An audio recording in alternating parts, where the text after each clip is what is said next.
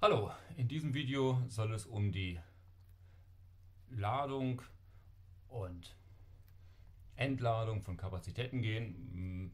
Und äh, um das Ganze mal herzuleiten, nehmen wir uns zunächst mal ein relativ einfaches Schaltbild.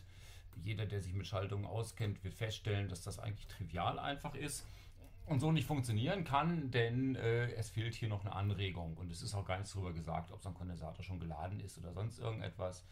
Ähm, wir definieren hier einfach mal einen Strom U. So, und äh, dann passt eben auch die Richtung der Spannungspfeile hier. So ist das Ganze gewählt, sodass wir jetzt für diesen, diese Masche hier zunächst mal ansetzen können, dass UC gleich minus UR ist. Wir dann zusätzlich noch ansetzen oder finden, dass ähm, die Ladung auf der Kapazität die ich hier mal andeute mit Q, ähm, sich bestimmt aus der Kapazität mal der Spannung U am Kondensator und C ist damit die Kapazität in Farad, was dasselbe ist wie, muss man aufpassen, Ampere-Sekunde pro Volt.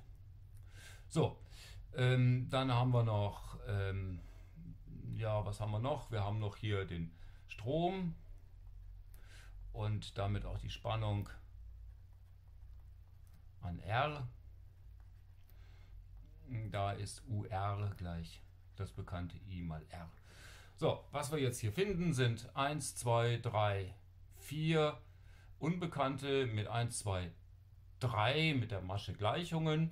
Mm, das ist so nicht wirklich sinnvoll lösbar, aber wir haben noch einen Zusammenhang, nämlich den Zusammenhang für die Ladung, äh, aus dem wir wissen, dass Q gleich das Integral über der Zeit i dt ist.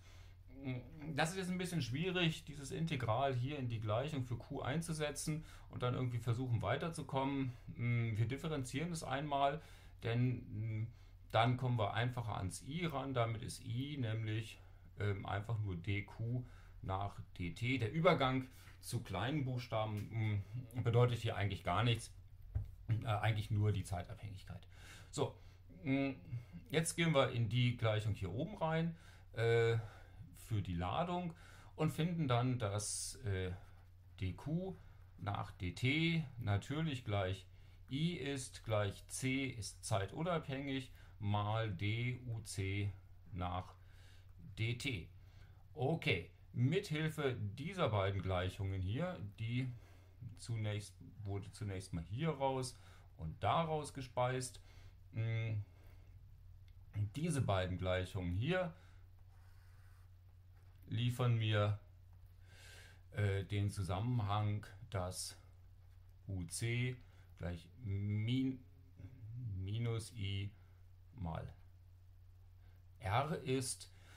Und wenn ich das einsetze, äh, bekomme ich auch wieder mit R unabhängig I gleich minus R mal C mal dI nach dt.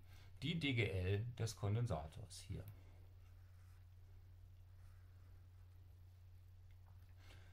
Ich benenne das noch wie üblich als Differential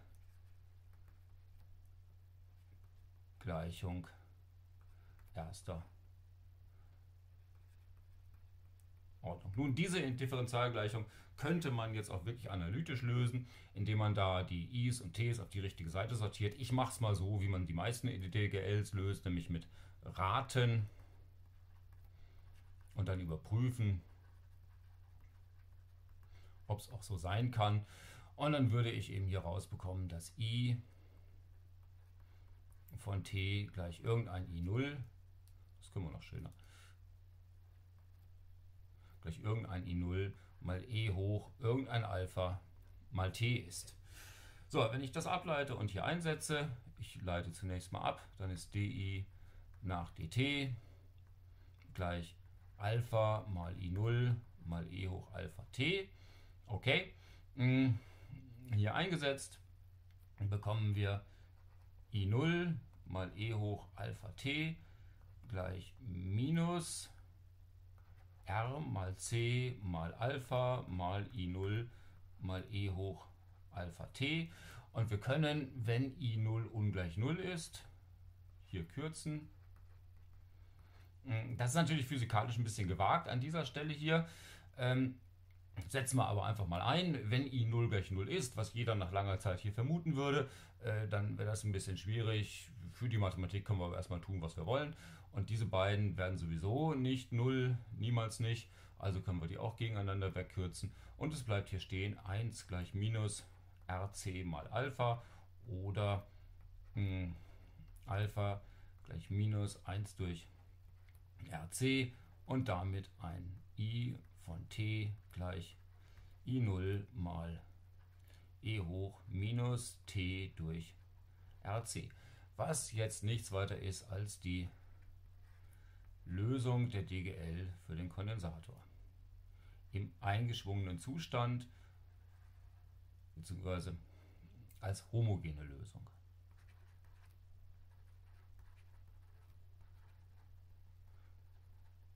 So, wie ich eben schon sagte, mm, das macht jetzt nicht so richtig viel Sinn, weil wir ja keine Anregung haben. Uns fehlt schlichtweg die Spannungsversorgung.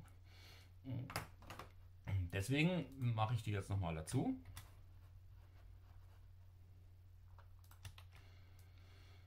Und da ist er auch schon, und da sieht man auch, dass die Spannungspfeile an C, UC und UR und so weiter auch äh, eben schon Sinn gemacht haben, denn eigentlich habe ich hier nichts weiter getan, als dass ich das UQ dazu gepackt habe und die Masche ändert sich.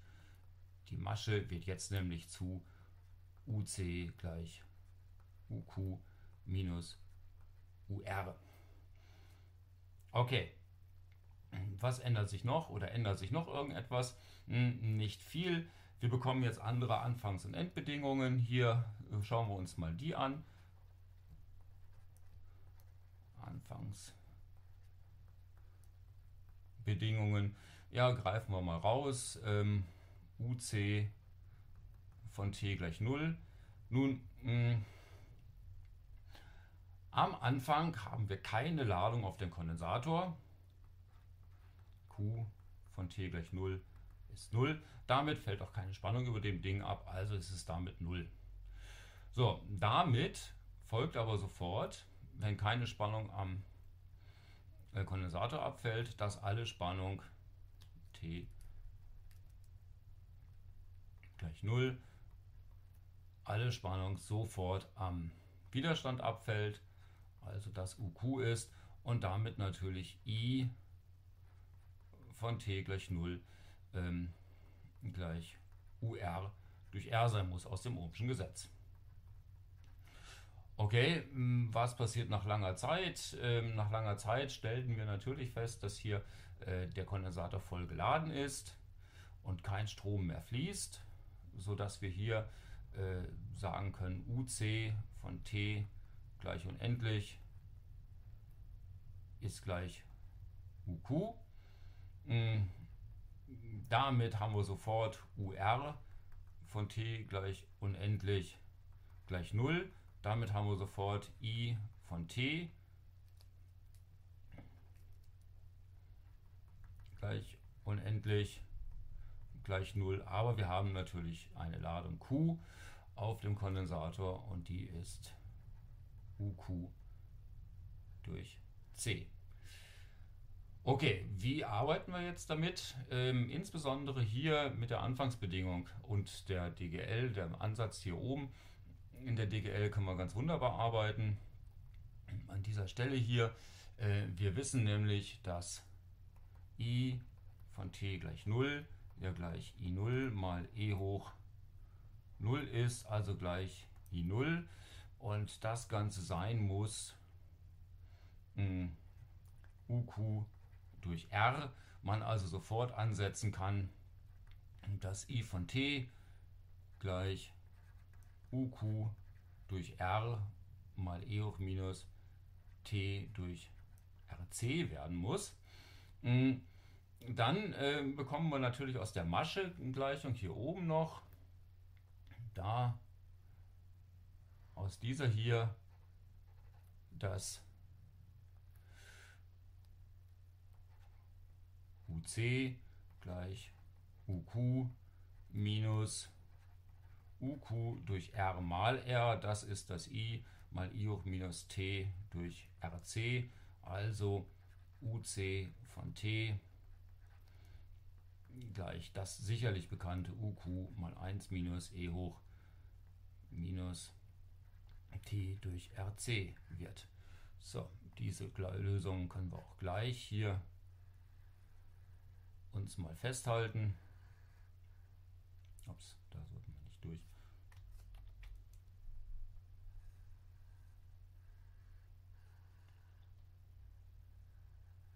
So, da haben wir das Wichtige zusammengefasst. Und nennen das auch gleich die Ladekurve der Kapazität. So, was kann man hier noch bei rausfinden? Ähm, zunächst schauen wir sie uns mal an.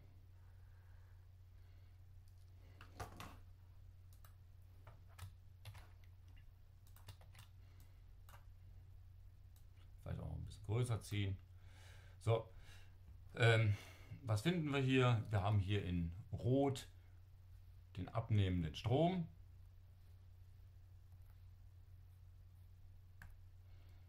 Ja, da ist er. Wir haben in Blau die zunehmende Spannung hier an der Stelle. Wir hatten hier die Situation, dass ähm, UQ gleich 10 Volt war, dass R gleich, wir können das hier am Strom ab, äh, an der, am maximalen Strom und der, äh, der Spannung ablesen, gleich 1 Kiloohm war. Und das kann man jetzt nicht unbedingt sehen, das musste man äh, wissen. C war ein Mikrofarad. Sodass wir ein R mal C äh, gehabt haben von der Dimension einer Millisekunde. Das heißt also R mal C hat die Dimension der Zeit und deswegen nennt man es auch mit Tau gleich R mal C die Ladezeitkonstante.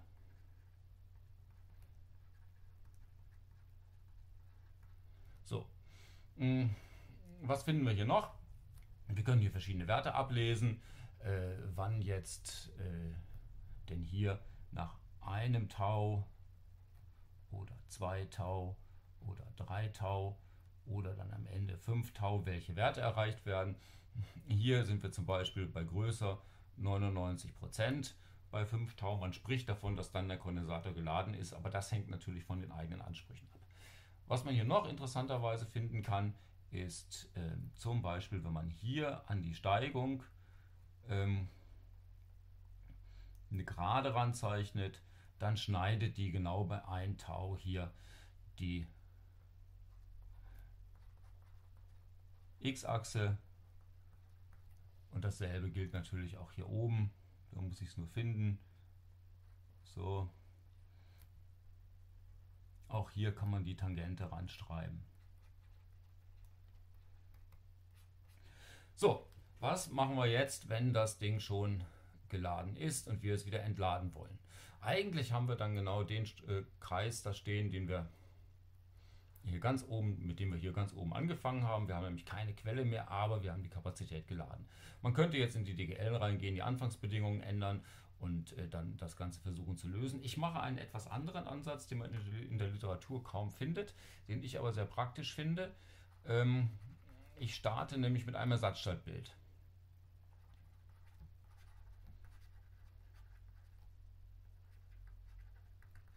Und zwar das ESB des geladenen Kondensators.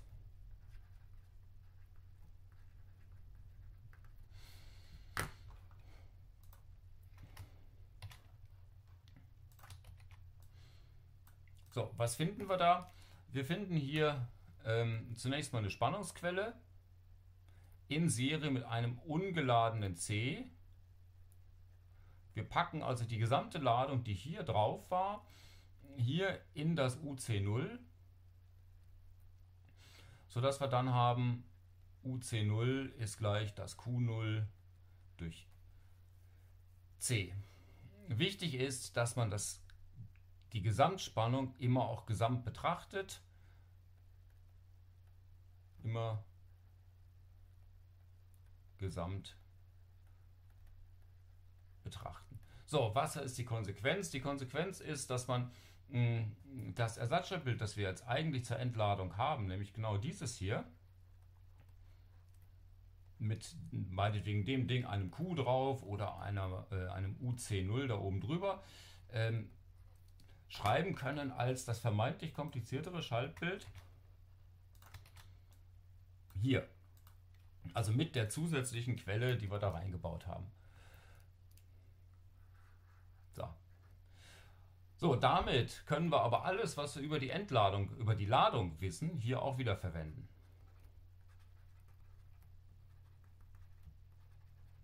Kann man alles, was man über Ladung weiß, hier wiederverwerten. Wir müssen also nicht nochmal in die DGL gehen und so weiter und so fort. Insbesondere wissen wir, dass das Tau nach wie vor R mal C ist. Wir müssen uns jetzt nur mit den äh, Ladekurven jetzt nochmal kurz ein bisschen rumschlagen und gucken, wie groß UC eigentlich ist. Dazu gucken wir uns zunächst mal UC' an. Mm, UC' ist jetzt ja nichts weiter als das, was wir eben auch hatten, nämlich irgendwie der, die Quellenspannung UC0 mal 1 minus E hoch minus T durch RC. Schon war es das. Was wir noch brauchen und was jetzt neu ist, ist UC und UC ist, ha, hier habe ich einen Fehler gemacht. Es ist genau Minus, weil der Pfeil hier oben falsch rumgegangen ist, natürlich, oder andersrum geht, als er das in der ursprünglichen Schaltung hatte, war. So, UC mh, hm, ist nun aber UC' plus UC0. So, und das macht natürlich UC0 minus UC0 minus UC0 mal E hoch minus T durch RC, also gleich UC0 mal E hoch minus T durch RC. Mm, minus mal Minus macht Plus, das müssen wir da noch nachziehen an der Stelle. Damit ist das hier die bekannte Entladung des Kondensators.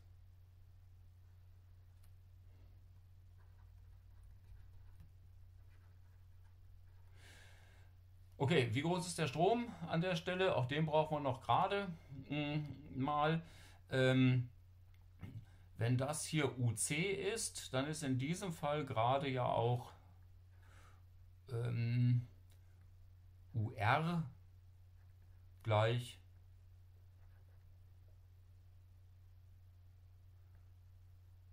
UC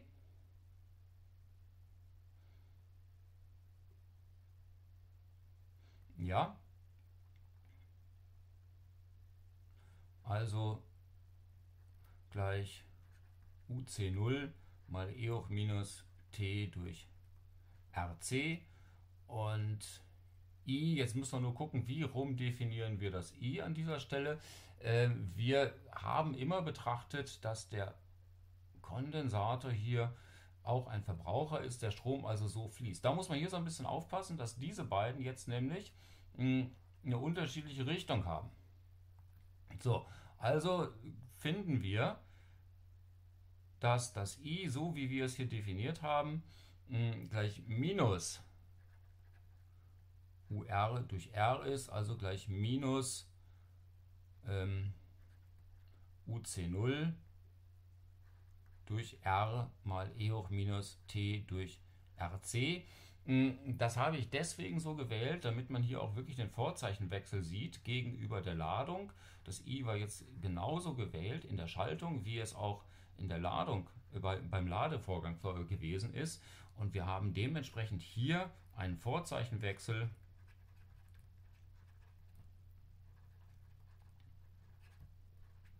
gegenüber Ladevorgang. Das macht keinen Stress. Ähm, Man muss nur daran denken, dass, das eben, dass es eben so ist und eigentlich das i hier in die andere Richtung fließt. Okay, so, wie ist das Ergebnis zu sehen? Hm. An dieser Stelle, äh, auch da haben wir natürlich was vorbereitet hier. So, und da sehen wir ganz eindeutig, auch das hier ist Entladen über denselben Widerstand, also auch R entlade gleich 1 Kiloohm, sonst alles gleich. Und man sieht hier eben ganz klar den Vorzeichenwechsel.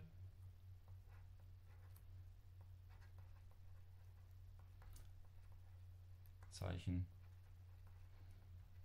Wechsel. Man sieht an dieser Stelle hier, dass die Spannung stetig ist. Was ja einfach daran liegt, dass die Ladung nicht springen kann.